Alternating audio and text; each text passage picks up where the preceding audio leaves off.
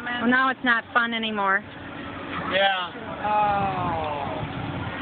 Well, how did you get over there? I mean, because it, it seems like it was The really... power line, Right the power line is cut down.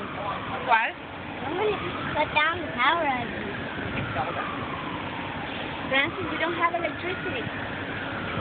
More important, you don't have air conditioning. yeah, we have, we have a cool home. No anymore. The. But you'll probably want to see the fire stuff in there, huh?